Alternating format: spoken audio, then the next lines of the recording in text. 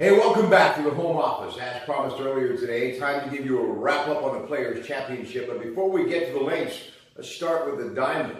The Pirates, well, they finally proved they were human against the Giants. They lost today 5 0 at PNC Park. Ivan Nova gave up four earned runs in the loss.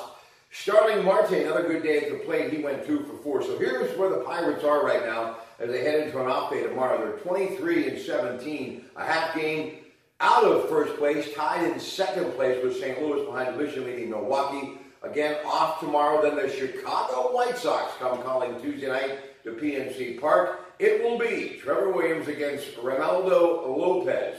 7.05, you can hear the first pitch and the game on the broadcast home of the Pirates, 93.7 The Fan.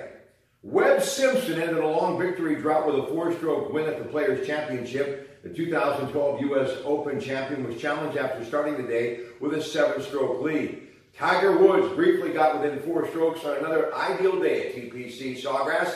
Simpson finished with a fourth round 73, which was enough to clinch $1.98 million in first place prize money. This tournament awards $11 million in prize money.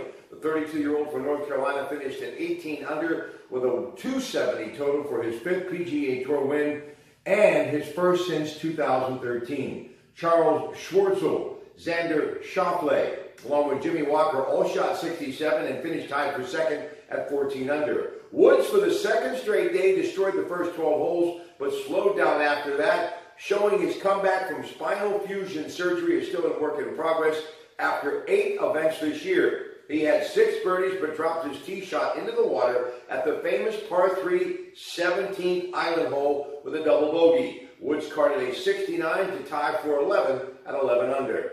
Now, they are playing game two of the Eastern Conference Final in the NHL with Tampa Bay leading after one period 2 1. The Capitals lead that series one game to none. Ladies and gentlemen, thanks for joining me, and we'll talk to you tomorrow from the home office, your Pratte Pack. Good night.